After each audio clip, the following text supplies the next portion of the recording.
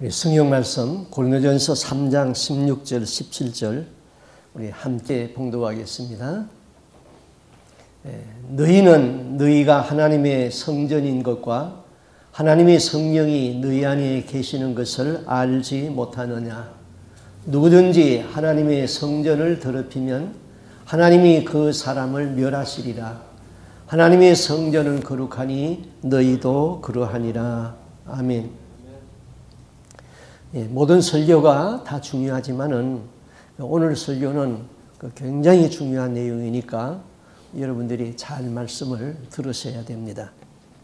예, 하나님 믿는 백성을 그 하나님 믿는 사람을 그 하나님의 백성이다.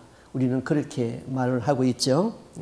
예, 백성이라 그럴 적에는 국가라는 개념을 두고 백성이라고 말합니다. 나라, 국가는 그 땅이 있어야 됩니다.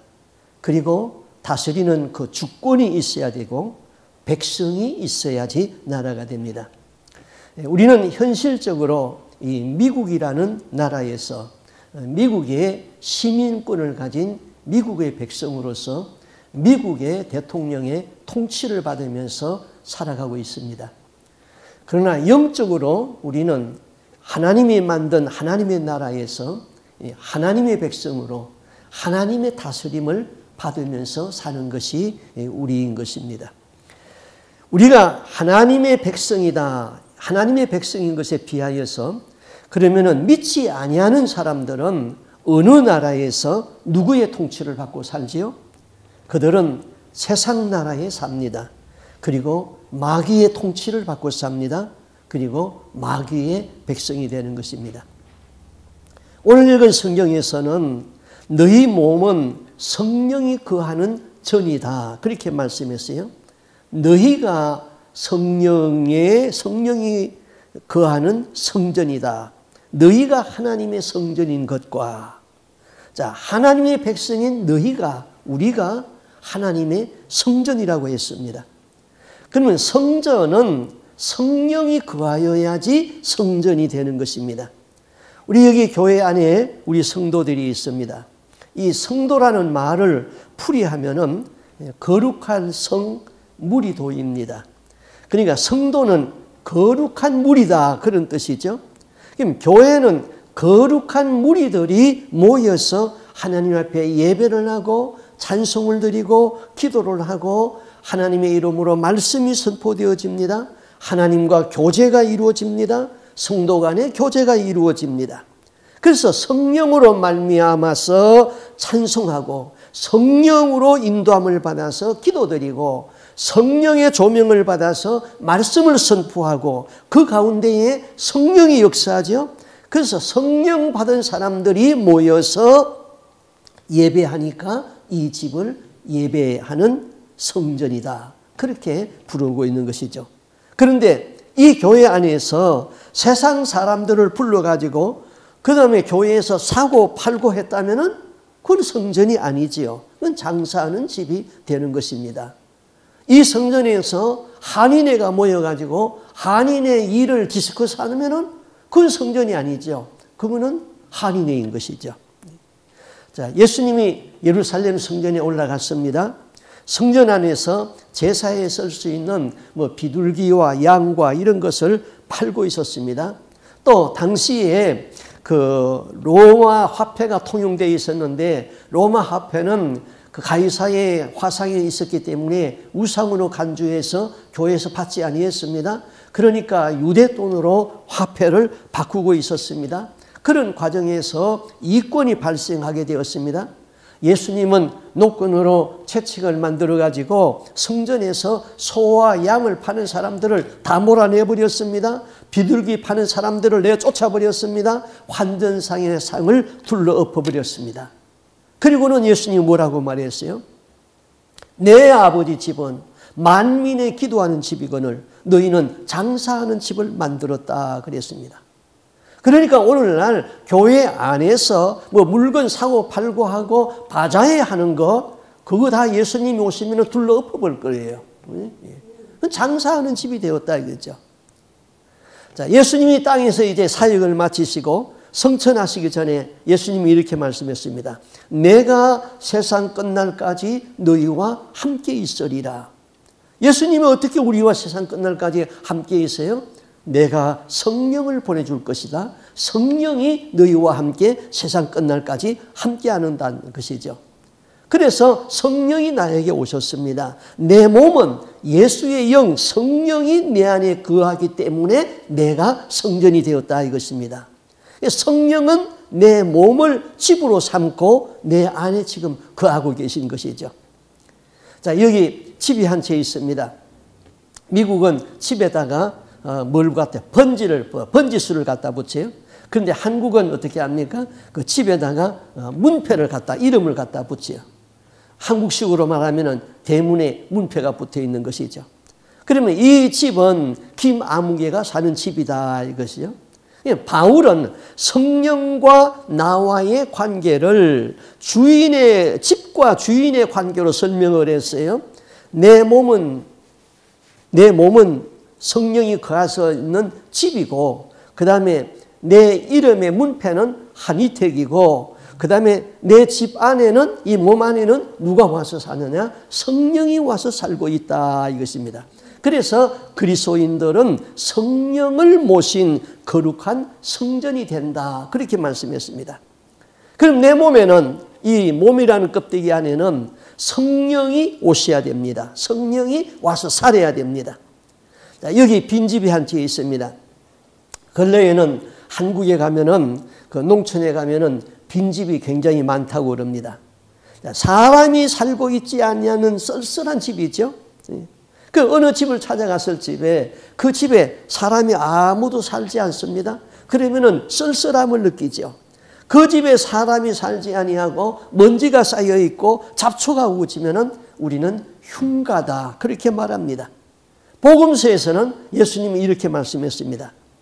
더러운 귀신이 사람에게서 나갔을 때에 물 없는 곳으로 다니며 시기를 구하여도 얻지 못하고 이에 가로되 내가 나온 집으로 돌아가리라 하고 와 보니 그 집이 비어 있고 소재가 되어 있거늘 이에 가서 저보다 더 악한 귀신 일곱을 데리고 들어가서 그 안이 그 사람의 나중 형편이 처음보다 더욱 심하게 되었다.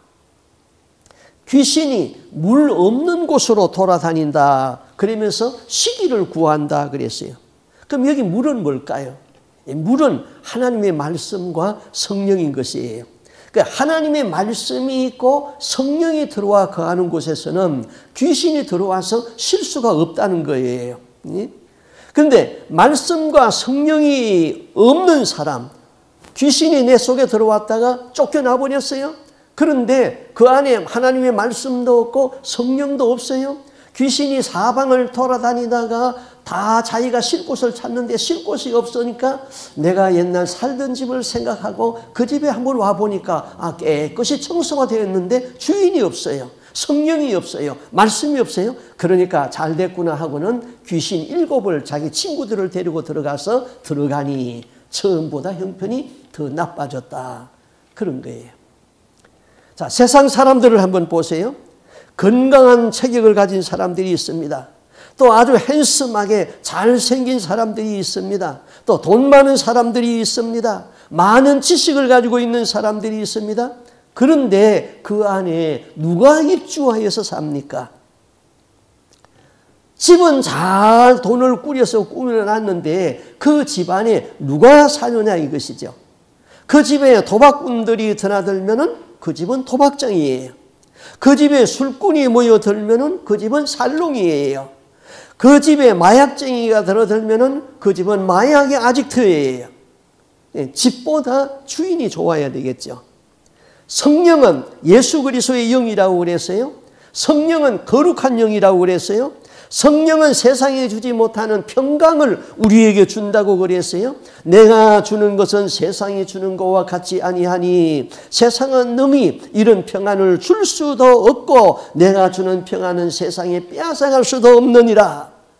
또 성령은 신령한 은사를 줍니다. 성령은 기쁨을 줍니다. 그러므로 내 안에 성령이 입주하면은 성전이 되는 것이죠. 그 성전이 바로 천국이 이루어지는 것입니다. 그러면 이에 비하여서 악한 영은 어떤 영입니까? 악령이죠, 악령. 악령이 들어오면은 내 마음을 어둡게 합니다. 죄짓게 합니다. 마음을 강팍하게 합니다. 우리를 불안하게 하고 우리를 낙심하게 합니다. 더러운 질병을 가지고 옵니다. 시험거리를 가지고 옵니다. 예수님은 이러한 악령을 내쫓을 적마다 형용사를 하나 붙여서 말했어요. 귀신아 나가라 그렇게 하지 마냐고 이 더러운 귀신아 나갈지어다 그랬어요.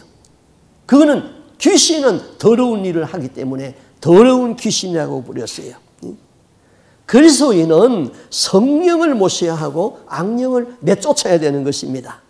내 몸은 성령이 오셔서 그 안은 성전이 되었다. 자, 교회가 무엇인가? 우리 지난 주간에 배웠죠. 지금 교회론을 지금 제가 말씀드리고 있어요. 우리 신앙이 바르게 되려면은 교회론이 잘 되온 사람은 신앙이 바른 사람이에요. 자, 교회는 지난주에 말씀한 것은 내 아버지 집이다. 그렇게 말씀했죠.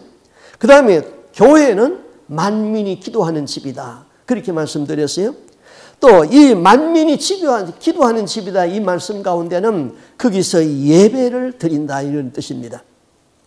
세 번째, 교회는 어디에 서 있다 그랬어요?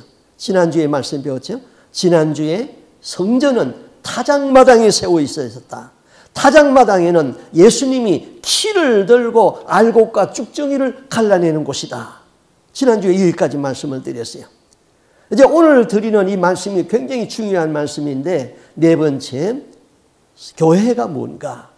자, 예수님이 예루살렘 성전에 올라갔습니다. 성전에서 제사에 쓸 수 있는 비둘기와 양 이런 것들을 팔고 돈을 환전하고 있었습니다. 예수님이 노건으로 만들어 가지고 이런 것을 다 몰아냈습니다. 비둘기 파는 사람을 내어 쫓았습니다. 환전상의 상을 둘러 엎었습니다. 그러면서 뭐라고 말했어요?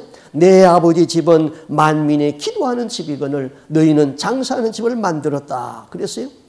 그때 그 성전을 지키던 제사장들이 또 유대인들이 나와가지고 예수님에게 물었습니다. 네가 이런 일을 하는데 우리에게 표적을 보여달라. 그때 예수님이 이렇게 말합니다. 너희가 이 성전을 헐어라. 내가 사흘 동안에 세우리라. 유대인들이 이 성전은 46년 동안 지어온 성전인데 네가 3일 동안에 일으키겠느냐? 그런데 예수님이 그 뒤에 말씀을 이렇게 해석했습니다. 예수는 성전된 자기 육체를 가리켜 말씀하신 것이요. 요한복음 2장 21절에서 그랬어요. 자, 이제 교회의 정의가 나왔어요. 교회가 뭡니까? 예수는 성전된 자기 육체를 가리켜 말씀하심이니라. 예수님은 너희가 이 성전을 헐어라. 내가 3일 만에 세우리라 그랬어요. 유대인들은 그 말을 듣고 분노했어요. 예? 하나님이 눈동자처럼 지키고 있는 이 하나님의 거룩한 성전을 예수님이 헐으라고 그랬으니까 예수는 신성모독죄에 걸린 거예요. 예수를 그래서 죽이려고 했어요. 예수님은 이 성전을 헐어라. 내가 일으키리라 그랬어요. 구약의 성전은 예수님이 오시기까지의 그림자인 것입니다. 그런데 이제 신약에 예수님의 실제 성전이 이 세상에 오셨습니다. 구약의 눈에 보이는 성전을 헐어버려야 되는 거예요. 성전의 실체인 예수가 오셨으니 그림자인 건물을 붙들고 있으면 안 된다 이 말인 것입니다. 오늘날 신약의 성도나 목사가 예배당을 지으면서 이것을 자꾸 성전이라고 생각합니다. 성전이라고 말하면서 크고 아름답게 지으려고 그럽니다. 예배 드리는 예배당 건물을 지으면 되는 거예요. 그런데 그 예배당 건물을 성전이라고 하면은 그것이 우상이 되는 거예요. 지금까지 우리가 아직 잘못 배우고 또 잘못 배워서 우리는 우상을 많이 섬기고 왔습니다. 목사들이 교회 건물을 지으면서 이것이 성전이다. 성전은 솔로몬 시대의 성전처럼 그 시대의 성전처럼 금으로 잘 짓자 크게 잘 짓자. 그렇게 지었다면 그 사람은 심판을 면할 수가 없는 거예요. 이거 굉장히 중요한 말이에요. 오늘 신앙에 사는 사람들이 너무나도 성전이라는 우상을 지금 가지고 있는 거예요. 왜 그것이 우상이 됩니까?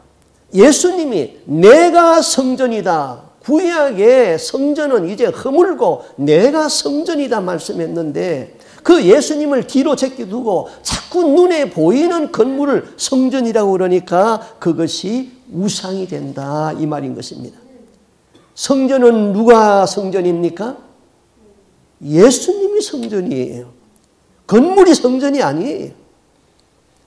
예수님이 십장에서 죽으셨습니다. 부활하셨습니다. 예수님이 제 아들에게 말했어요. 내가 세상 끝날까지 너희와 항상 함께 있으리라. 그리고 예수님 성천했어요. 성령을 우리에게 보내주었어요. 성령이 우리 마음에 오셔서 내 안에 내주하게 있습니다.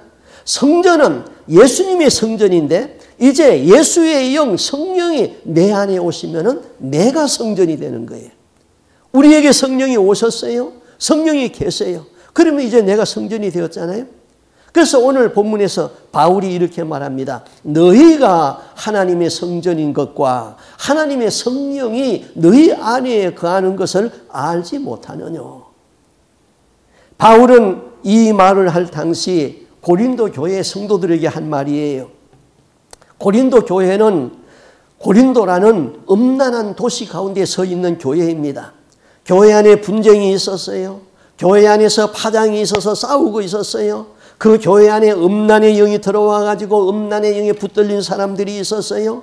그 교회 안에 성도들끼리 분쟁이 생기더니 그 문제를 가지고 세상 법정에다가 가지고 나가는 소송을 제기했어요. 우상의 재물 때문에 논쟁하고 있었어요. 은사 문제로 시끄러워졌어요. 이렇게 고전을 면치 못하는 고린도 교회에 바울이 성령의 감동으로 이렇게 말합니다. 너희가 하나님의 성전인 것을 알지 못하느냐?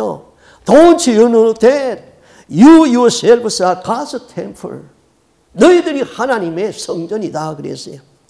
자, 인간이 어떻게 하나님이 거하는 성전이 될 수 있습니까?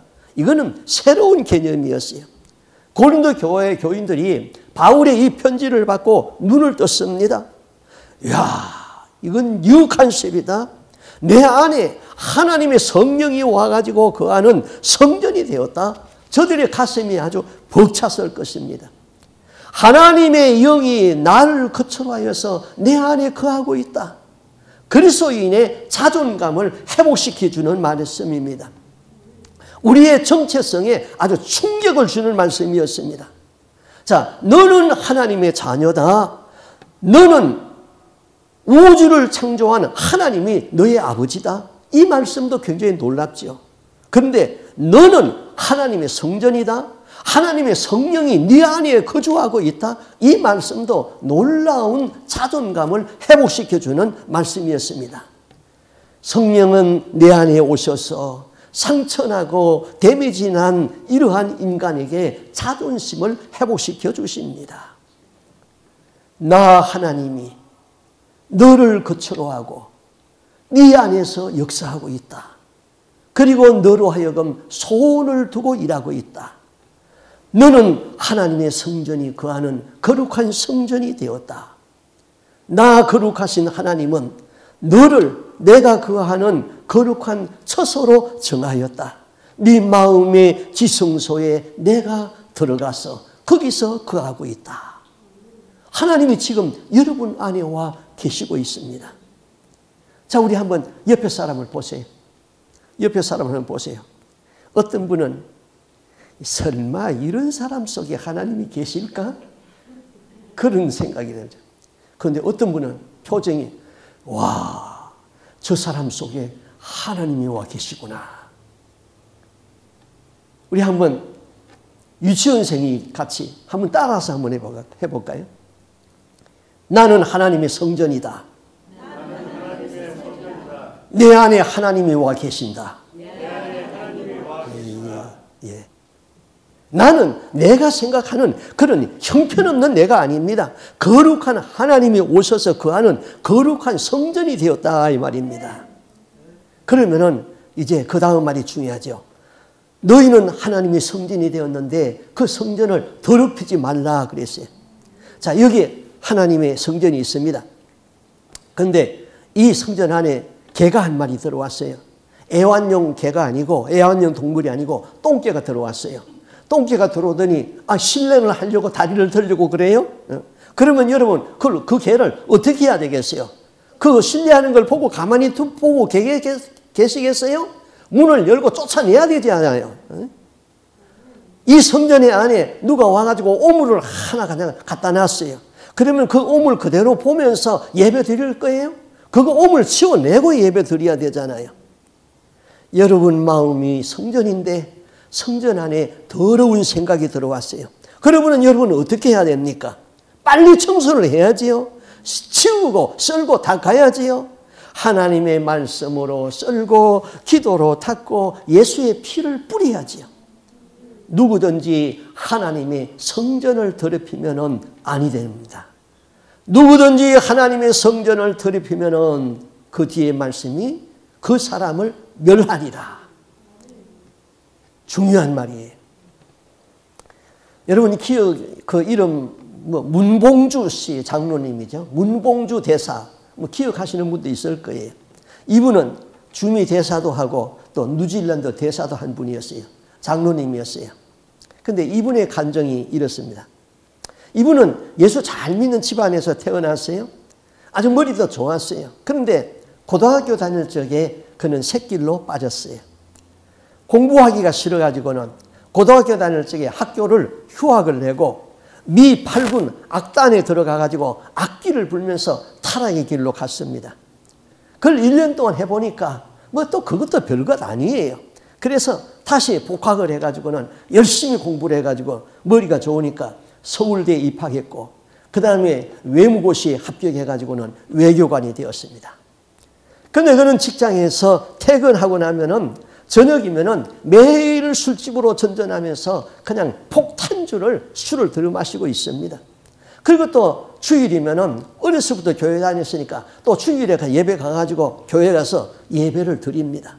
그리고 또 월요일날부터는 또 직장 끝나면은 술집으로 다니면서 술을 퍼마셨습니다. 그분이 간정이 이렇습니다.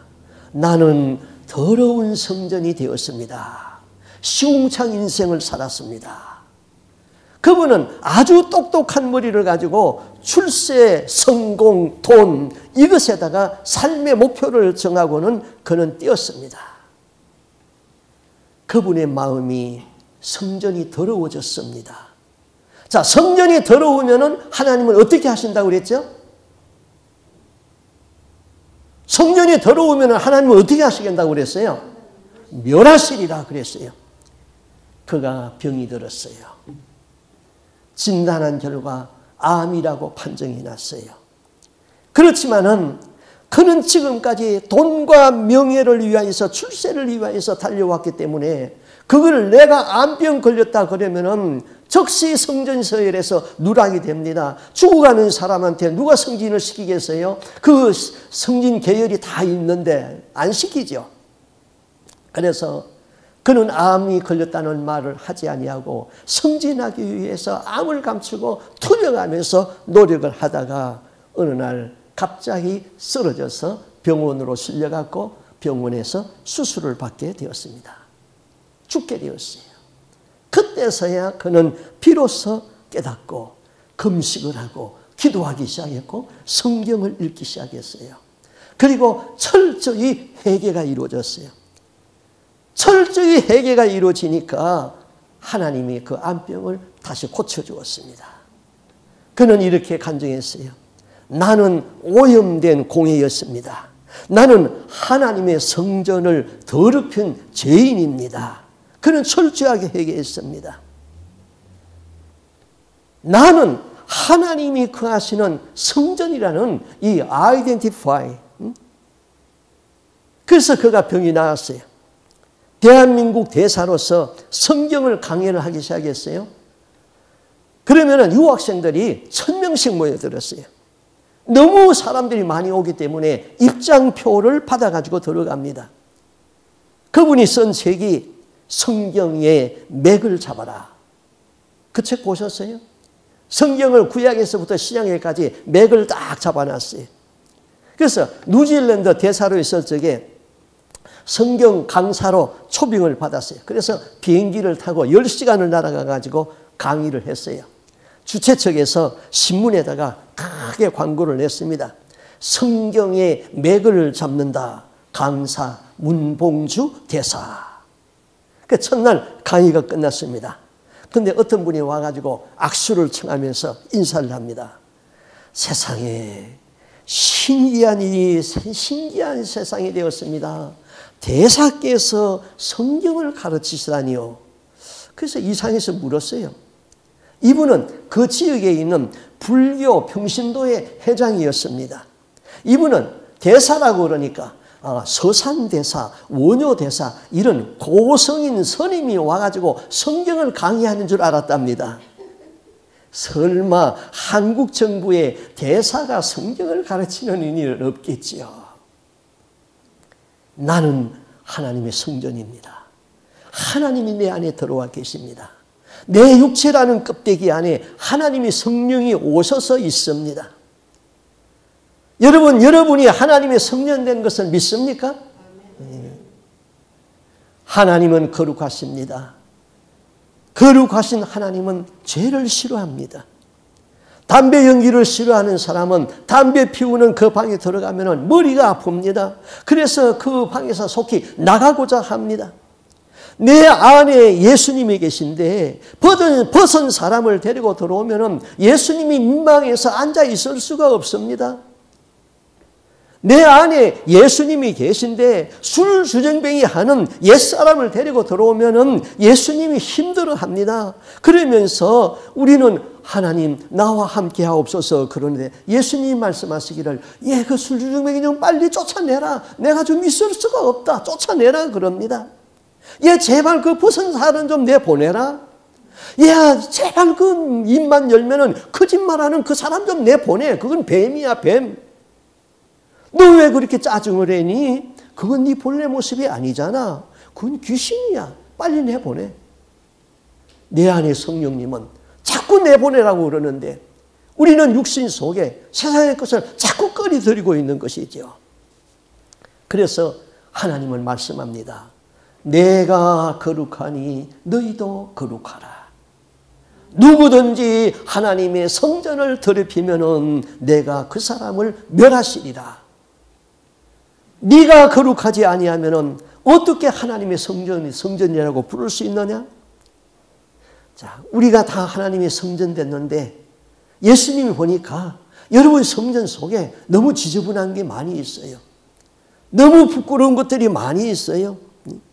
성령이 불편해가지고 있을 수가 없다고 그래요. 하나님이 냄새 난다고 코를 막고 계세요. 더러워서 눈을 감고 보지 않으려고 그래요. 거짓말하는 것이 듣기 싫어서 얼굴을 외면하고 있어요. 하나님의 성전이 더러워져서 하나님의 마음에 자존심에 상처가 났어요. 이제 하나님의 분노가 되었어요. 스스로 물어보세요. 나는 누구냐? 나는 하나님이 거하는 거룩한 성전이다. 나는 하나님의 자존심이다. 나는 하나님의 프라이드다. 이렇게 대답할 수 있다면 이 사람은 복된 사람입니다. 이 사람에게 하나님은 반드시 복을 주실 것입니다. 욥은 하나님의 자존심이었습니다. 다윗은 하나님의 프라이드였습니다.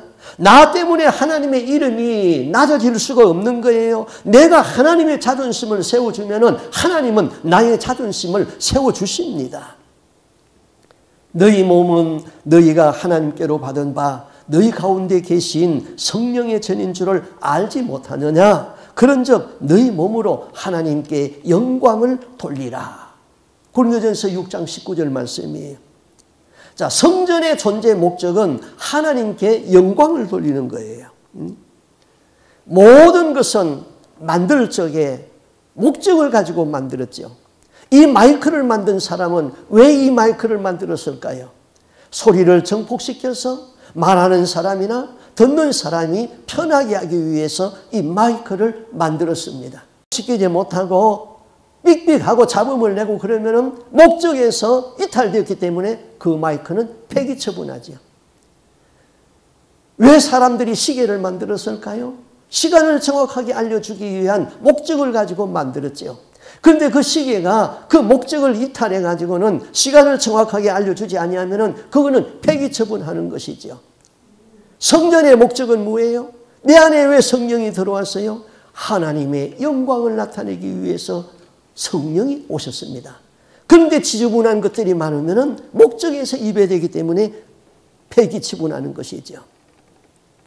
자, 예수님이 말씀했어요. 하나님이 성경에서 말씀했죠. 내가 거룩하니 너희도 거룩하라. 이 거룩이라는 용어는 하나님 편에 쓰면 거룩한 것이고 우리 사람 편에 쓰면 깨끗하다 그런 뜻이에요.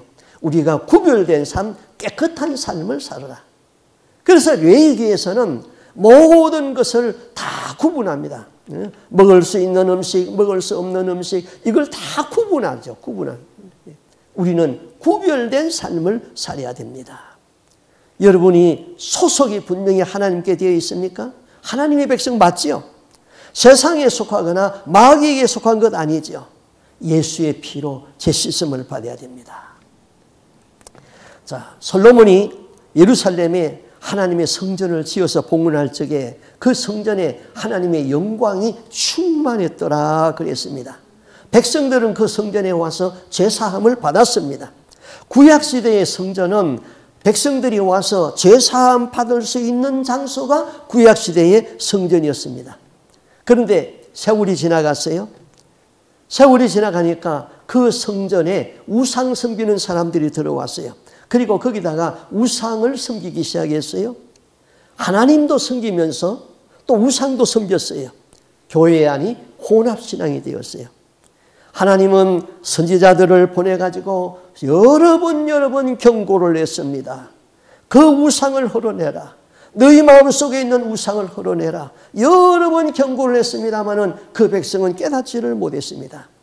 그때 하나님은 이 성전을 헐어야 보여. 헐어버려야 되겠다. 그렇게 결정을 합니다. 그래서 그 백성은 포로로 잡혀가고 그 성전은 헐어버리고 남아있는 사람은 칼에 죽고 전염병에 죽고 그렇게 된다고 예레미야를 통해서 경고를 했습니다. 성전이 얼마나 더러워졌는지 하나님이 에스겔 선지자에게 환상을 보여주었습니다. 에스겔 선지자는 바벨론의 포로로 끌려가 가지고 포로들과 함께 있었는데 어느 날 하나님이 그의 영을 번쩍 들어 가지고는 예루살렘에다 갖다 놓아서 예루살렘 성전 안을 다 구경을 시켜 주었습니다. 에스겔서 8장 10절에 보니까 이래요.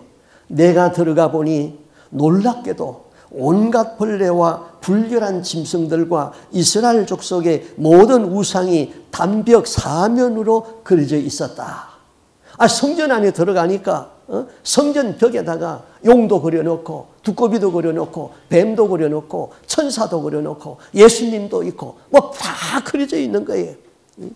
그 다음에 에스겔서 8장 14절에 보니까 그리고 나서 나는 그는 나를 주님의 성전으로 들어가 북문 어기로 데리고 가셨다.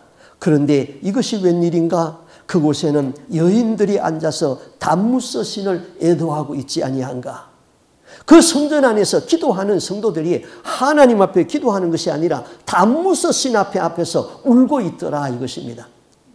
그 오늘 천주교 현상하고 똑같은 거예요. 천주교에 들어가게 되면 여러 가지 우상들이 많이 있어요. 그리고는 거기에 있는 여인들이, 거기에 있는 성도들이 앉아가지고 예수님께 기도하는 것이 아니라 누구의 이름을 부르고 있어요? 마리아의 이름을 부르고 있어요. 마리아여, 우리 어머니요 하면서 마리아를 부르고 있단 말이에요. 구약의 그 시대와 똑같이 되어버렸습니다. 자, 성전이 이렇게 변질되었는데 하나님의 입장에서 너무나도 아름답게 지었기 때문에 솔로몬이 검으로 입혔기 때문에 그 성전을 헐어야 됩니까? 그래도 가만둬야 됩니까? 여러분이 한번 대답을 해보세요. 성전이 너무너무 돈을 많이 들여서 잘 들였는데 그 안에 우상이 들어왔는데 그 성전 잘 지었으니까 그대로 둬야 합니까? 하나님이 헐어버려야 됩니까? 헐어버려야 되죠. 그래서 하나님은 결심을 했습니다. 내가 이 성전을 헐어버려야 되겠다. 어? 그런데 하나님 믿는 백성이 이 성전을 헐 수가 없으니까 하나님 믿지 아니하는 이방 사람들을 불러와 가지고는 칼을 들려 가지고는 이 성전을 다 헐어버려야 되겠다. 그렇게 결정합니다. 그래서 하나님은 바벨론 갈대아 사람들에게 힘을 주었습니다. 칼을 들려 주었습니다. 그들이 와 가지고는 그 성전을 헐을 것입니다. 예레미야에게 그것을 가르쳐 주었어요. 예레미야가 나가서 외칩니다. 너희가 하나님의 마음을 돌이키려면은 성전에서 회개를 해라. 너희가 죄를 버려라. 그러면은 하나님이 마음을 돌이키고 이 성전을 고치신다. 너희를 고치신다. 그렇게 여러 번 일러 주었어도 그들은 깨닫지 못했습니다. 결국은 바벨론 사람들이 와가지고는 그 성전을 하는데 유대인들은 뭐라고 말합니까? 이 성전은 하나님이 눈동자처럼 지키시는 성전이다. 그렇기 때문에 하나님이 이 성전을 절대로 버리지 않는다. 그런 말을 하고 있습니다. 결국은 바벨론 사람들이 와서 그 성전을 헐기 시작했습니다. 금을 다 떼어가지고 가지고 갔습니다. 성전 기물을 다 빼앗아서 갔습니다. 성전에 있는 귀한 것들, 노시나 동이나 은이나 금이나 전부 다 가지고 갔습니다.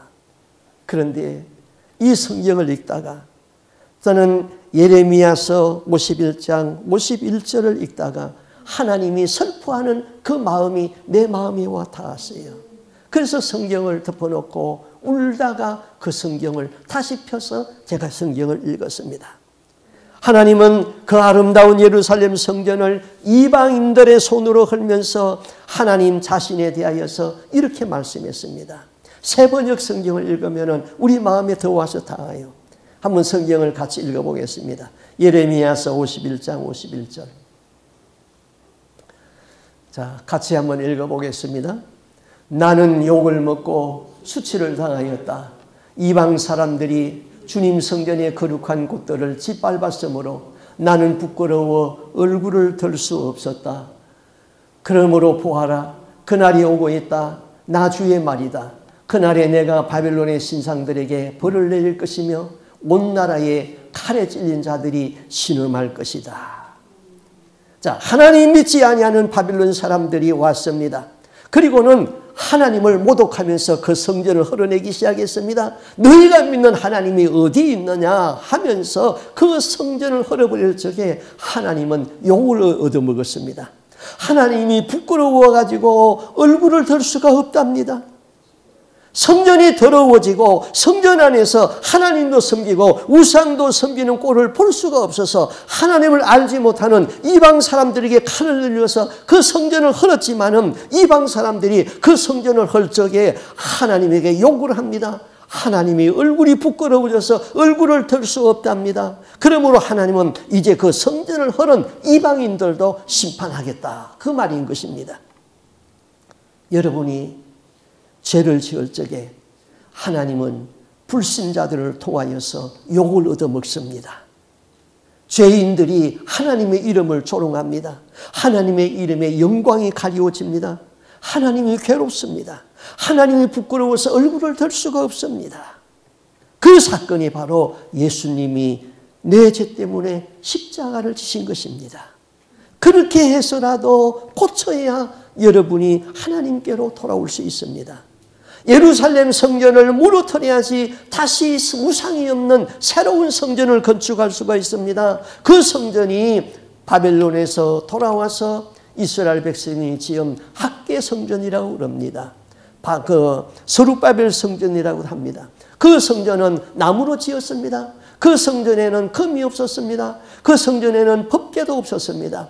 옛날 나이가 많았던 사람들은 솔로몬 성전을 보았던 그 사람들은 그 성전을 지어놓고 토라에서 슬퍼서 울었습니다. 또 반면에 그 성전 이방 땅에 끌려가 가지고 하나님을 섬기지 못하다가 고국에 돌아와 가지고 성전 지어놓고 너무나도 감격해서 울었습니다. 하나님은 그 학계 성전이 나무로 지은 성전이 솔로몬이 지은 금으로 지은 성전보다 더 좋다고 말씀했습니다. 왜? 거기는 우상이었기 때문에 예수님이 이제 오셨습니다. 예수님이 오셔서 말씀합니다. 이 성전은 이제 흘러버리라. 성전의 본체가 되는 내가 왔으니 이제는 이 성전을 흐르라. 내가 성전이다. 그러므로 오늘날 교회는 하나님의 성전을 짓는 사람들은 우상을 섬기는 사람들이고 그들은 심판을 받을 것입니다. 우리는 예배당, 예배 드릴 수 있는 건물만 지으면 됩니다. 그리고 그 성전에는 예수님이 성전인 것입니다. 예수님이 있어야 되는 것입니다. 그리고 성령이 오셨습니다. 성령이 내 안에 오셨기 때문에 내가 성전인 것입니다. 이 성전을 거룩하고 깨끗하게 관리하면 되는 것입니다. 우리 마음의 지성소에 예수님이 들어오시기를 원합니다. 내 마음 지성소에 성령이 오시기를 원합니다. 나는 하나님의 영, 거룩한 영이 거하는 성전이 되었습니다. 그 성령을 이제 근심시키지 말고 성령님과 동행하십시오. 마음의 성전을 날마다 예수의 피로 씻어내어서 거룩하고 정결하게 하는 우리의 삶이 될 수 있기를 바랍니다. 아멘. 네. 기도하겠습니다. 우리 하나님 아버지, 우리는 어려서부터 잘못 배워왔고 잘못 가르쳐 왔습니다. 성전의 본연의 실체가 되시는 예수님이 오셨기 때문에 예수님이 성전이 되었는데 우리는 자꾸 눈에 보이는 건물을 성전이라고 하면서 그 건물을 크게 지으려고 했고 그 건물이 결국 우상이 되었음에도 그것을 알지 못하고 오늘날까지 우상을 섬기면서 믿음 생활을 해왔습니다. 우리로 하여금 우상을 버리게 하여 주옵시고 예수님만을 잡게 하여 주시옵소서. 주님, 주님이 우리에게 성령을 보내주었습니다. 그리고 성령이 우리 마음에 오셨기 때문에 내가 성전이 된 것을 기억하게 하여 주옵소서. 이 성전을 거룩하고 깨끗하게 관리하게 하여 주옵소서. 예수의 피로 날마다 씻어내게 하여 주옵소서. 말씀이 있고 성령이 거하는 거룩한 하나님의 성전이 되어서 하나님의 프라이드가 되고 하나님의 자존심이 될 수 있기를 원합니다. 하나님, 우리가 세상에 살면서 자꾸 세상 것이 들어와 가지고 이 성전이 들어오질 적에 우리는 속히 말씀으로 돌아가고 성령으로 돌아가서 회개가 이루어지고 기도가 이루어지고 하나님의 내 안에 들어와서 그할 수 있는 거룩한 성전 되게 하여 주시옵소서. 오늘도 이전에 와서 하나님 앞에 예배하는 우리 모든 성도들의 마음이 거룩한 성령으로 충만하게 하여 주옵시고 그 성령을 근심시키지 않도록 도와주시옵소서. 그리고 성령과 동행하게 하여 주옵소서. 마음의 지성소에 성령이 오셔서 함께 거하는 거룩한 하나님의 백성 되기를 소원하고 존귀하신 예수님 이름으로 기도하옵나이다. 아멘.